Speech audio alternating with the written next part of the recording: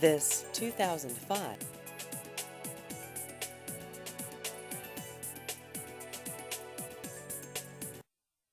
This vehicle has just over 74,000 miles.